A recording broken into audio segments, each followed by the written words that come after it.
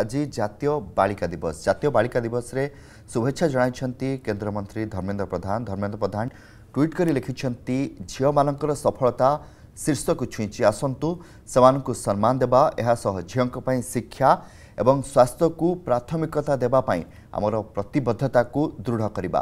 ସେହି ସବୁର ଅଭିବୃଦ୍ଧି ପାଇଁ ସମାନ ସୁଯୋଗକୁ ସୁନିଶ୍ଚିତ କରିବା।